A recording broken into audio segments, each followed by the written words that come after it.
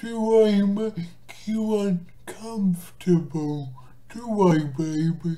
Do I want to go to the other room where I can make you feel more uncomfortable?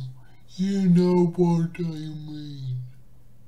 Yeah, someone gave Seneca negative write-up, which obviously pisses me off because I have a fragile ego and I, I insist everyone must like everything they do.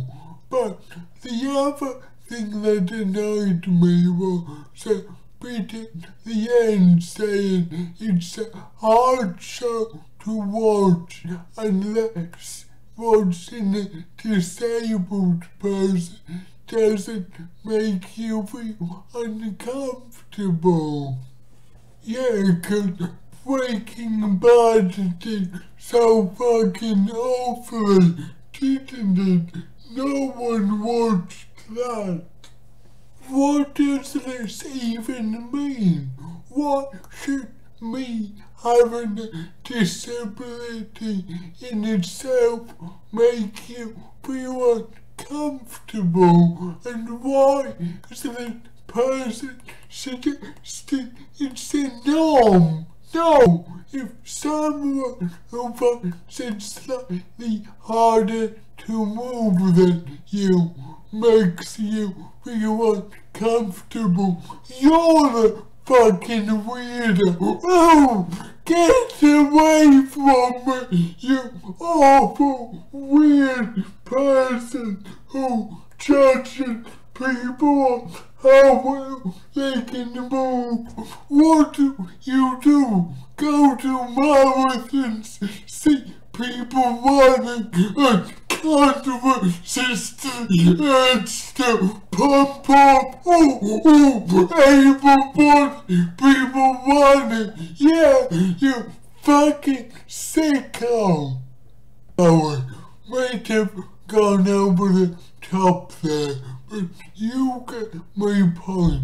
If you can feel uncomfortable around me, feel uncomfortable cause I sway too much, feel uncomfortable because I'm probably drunk most of these videos, feel uncomfortable, feel uncomfortable because of that unnecessary walking simulation. Just don't feel uncomfortable because of my disability. But being able to move quite as well as others is nothing. I still have the ability to think as well as others, the ability to behave and interact as well as others. Yeah, granted, I don't choose to use it, choose to tell people to fuck off just because it amuses me.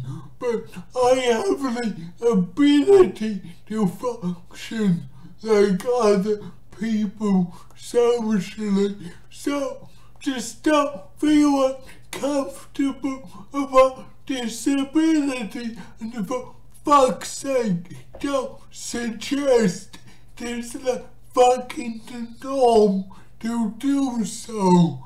That is all.